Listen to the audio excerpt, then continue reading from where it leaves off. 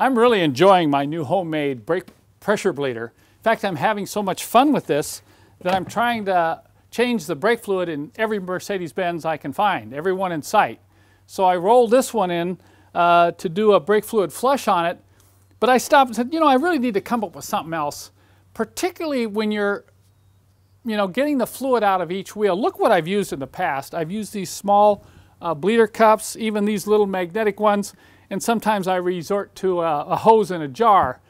But this is messy, it's dirty, and it's not efficient and fast. So I said about, okay, what do I need to really capture that old fluid coming out of each one of the brake calipers? And there were two criteria for me. Number one, I needed to see when the fluid started to run clear.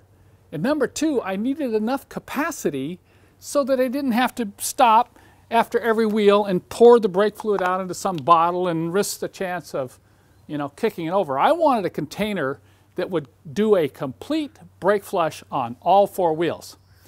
Let me show you what I came up with. I pumped the bleeder up to about 10 psi max. Uh, don't go over that when doing these old cars. And note I've, I've added a pan underneath to catch any drips that might come out of the fitting. And now look at this bottle. This is called my twin chamber brake fluid capture bottle. It has a very small pre-chamber right here and out of the top of that pre-chamber you'll see this pipe tube that comes down and goes into the bottom of the bottle right here. This is one liter in size. I've already begun the bleeding process to just save time in this video and you can see that I've got quite a bit of dirtier fluid right down here in the bottle. Uh, let me open up the fitting now Note that I always remove this cap here to keep from pressurizing this capture bottle when I'm bleeding. And I'm only going to open this up about a half a turn. And you can see the fluid coming in the little pre-chamber here.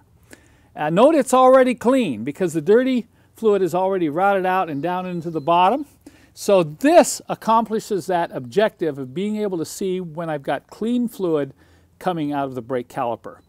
And being one liter in size, it's big enough that I can do all four wheels.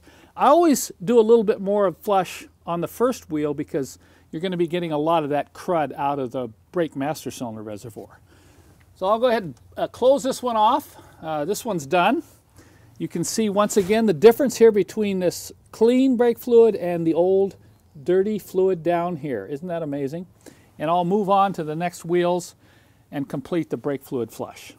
With these two products, I can actually do a complete brake fluid flush in half the time it took using some of the, the old products I used to use. I'm very proud of these.